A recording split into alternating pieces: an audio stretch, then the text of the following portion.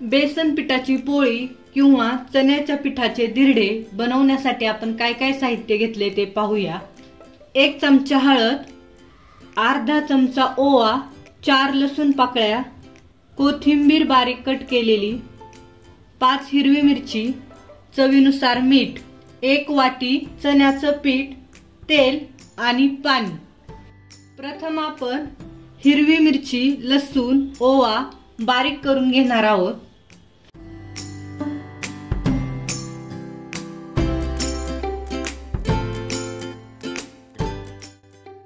अशा प्रकारे मी बारीक करून घेतलेला आहे. पाहू शकता. बाउल घेतलेला आहे. बाउलमध्ये आपण बेसनाच्या पोळीचं पीठ तयार करणार आहोत. एक वाटी चण्याचं पीठ. पीठ हे चाळून घेतलेलं आहे. एक चमचा हळद पावडर. चवीनुसार मीठ. बारीक केलेली हिरवी मिरची लसूण आणि ओवा. तिखटचं प्रमाण तुम्ही तुमच्या आवडीनुसार घेऊ शकता.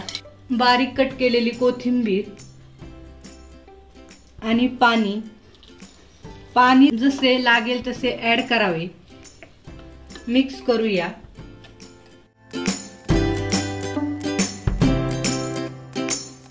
हिरवी मिरची ओवा आणि लसूण बारीक करून पिठामध्ये मिक्स केल्यावरती आपल्या बेसनाची पोळी छान चविष्ट होतात.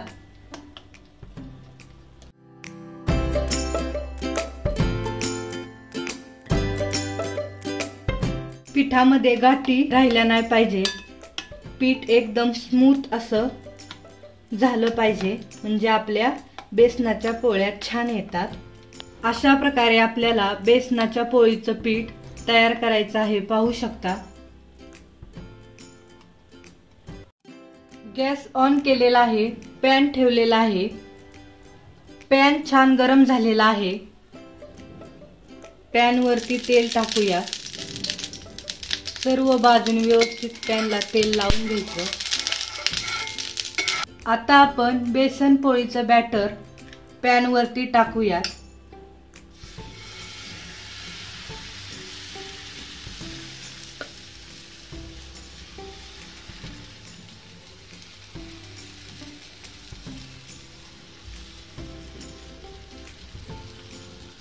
अशा प्रकारे.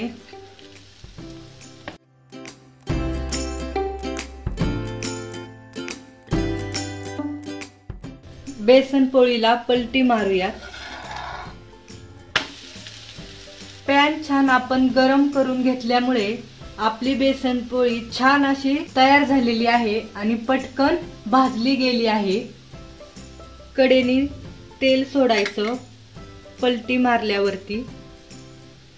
पाहू शकता आपल्या बेसन पोळीला छान अशी जाळी पडलेली आहे. दोन्ही साईडनी छान आपण बेसन पोळी भाजून घेणार आहोत.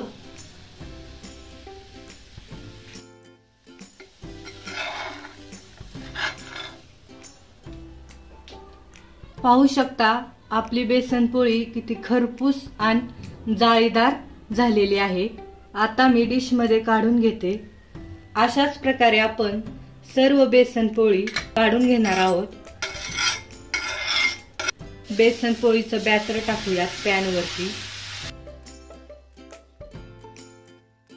छान असं स्प्रेड करून घ्यायचं असं व्यवस्थित.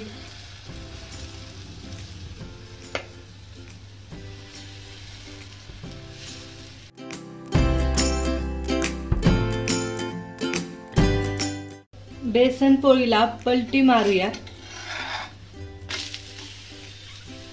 पाहू शकता किती खरपूस भाजलेली आहे आणि छान जाळीदार झालेली आहे. पलटी मारल्यावरती कडेने तेल सोडायचे.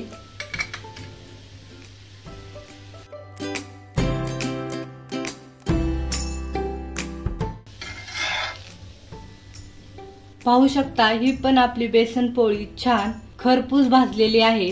आणि जाळीदार पण झालेली आहे. आता मी डिशमध्ये काढून घेते.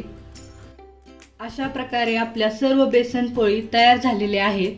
पाहू शकता छान अशा खरपूस झालेल्या आहेत आणि छान अशी जाळी आलेली आहे.